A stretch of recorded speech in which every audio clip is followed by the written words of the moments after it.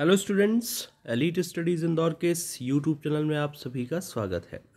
आप सभी को पता है M P P S C दो हज़ार उन्नीस कोर्ट केस की आज सुनवाई है और आज का दिन M P P S C के विद्यार्थियों के लिए काफ़ी महत्वपूर्ण साबित होने वाला है।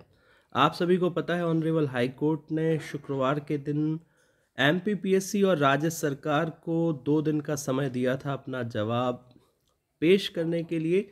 तो आज उसकी सुनवाई होगी। साथ ही आपको बता दें कि इसमें जो दो महत्वपूर्ण घटनाक्रम हुए थे, वो यह थे कि जो आपकी 23 सितंबर 2021 की सुनवाई हुई थी, उसमें सरकार ने कहा था ऑनरेबल हाई कोर्ट में कि पुराने नियमों के आधार पर M P P S C mains का रिज़ल्ट घोषित किया जाएगा, लेकिन ऐसा नहीं हुआ।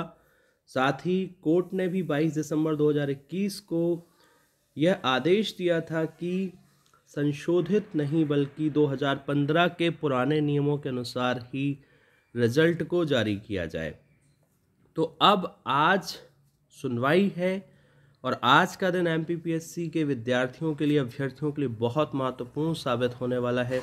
आप सभी elite studies Indore Prince sir के लाइव पॉडकास्ट पर बने रहिए। आपको पूरी अपडेट विद फैक्ट्स प्रोवाइड की जाएगी। साथ ही आने वाले सभी एग्ज़ाम्स की तैयारी के लिए, चाहे M P P S C prelims हो मेन्स हो इंटरव्यू हो, आप एलिट स्टडीज़ इंदौर विज़िट कर सकते हैं। मिलते अगले वीडियो धन्यवाद।